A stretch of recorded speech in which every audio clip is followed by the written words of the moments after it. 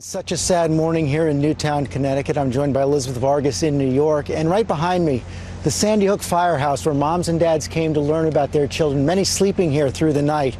And this headline from the Hartford Courant right here says it all. Our hearts are broken, speaking for so many Americans today. Over 20 little children dead, more adults died after the worst shooting ever at a grade school. Here is what we know right now. The shooter, Adam Lanza, was 20 years old. He also shot his mother before coming to the school.